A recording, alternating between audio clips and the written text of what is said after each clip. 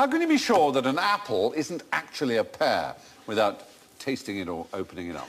Well, some apples get deformed into a sort of pear-shaped way. There are round pears. I mean, that obviously is a very pear-like one on the right there. That's clearly a pear, I think. But there are round ones. Is it that you can't do that twisting thing with an apple? Mm, I think pear stems do tend to come off more quickly, don't they? But there's a really interesting way, and that is... Ah, uh-huh. ah. One floats and one doesn't which float. one floats?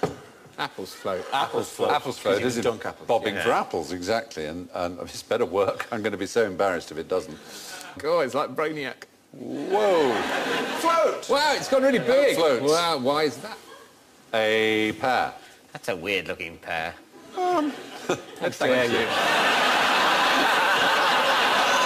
That's wrong. Uh, okay.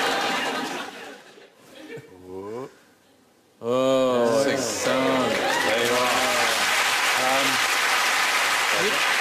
it seems that the pear is denser. The. It's somehow odd. You think of them as sweeter and lighter and so on, but actually they're just structurally more dense. And uh, you may try this at home and get a floating pear or a, Don't, don't, don't go to a green or a sinking apple, that's but um, please don't write in. Uh, write to the uh, British Apostrophe Society. Uh, So they'd love some- to know about it. Someone invites you to play a game of pear bobbing. basically,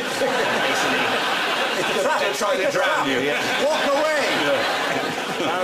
Apparently up at, up at, Ullswater, they, uh, they did pair bobbing at about 50 metres. I Yes. it the police decided not to do it. It invited, too far. invited a load of strangely dressed dwarves. Pear bobbing. But oddly enough, oh, I'm going to put this back down here now. Oddly enough, the oldest variety of apple in England is called a, Granny Smith, Bramley, Cox. no, a pear pearmain.